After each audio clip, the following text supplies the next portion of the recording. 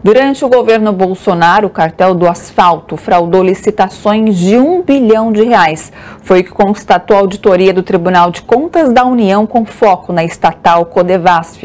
Um grupo de empresas agiu tanto na sede da empresa em Brasília como nas superintendências regionais e a maior beneficiada foi a Ingeforte. Por ser uma estatal com um orçamento gigantesco, o comando da Codevasf foi entregue por Jair Bolsonaro ao Centrão. A construtora Engeforte venceu editais com indícios de fraudes no valor total de 892 milhões e 800 mil reais. A Engeforte, que é do Maranhão, usou uma empresa de fachada chamada Dell em parte das licitações. O TCU constatou que aconteceram ao mesmo tempo grande aumento do volume licitado, redução da concorrência e diminuição abrupta do desconto médio nas licitações. Mesmo com tudo isso, o relator do caso, Jorge Oliveira, contrariou o parecer da área técnica e não suspendeu o início de novas obras suspeitas. O ministro Jorge Oliveira foi indicado para o TCU por Jair Bolsonaro.